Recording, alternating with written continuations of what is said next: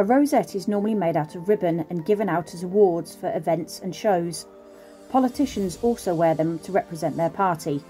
Sometimes people will be given them with their name, company name on, in large gatherings such as cruises or parties. They can be used for advertising, displayed for customers to see.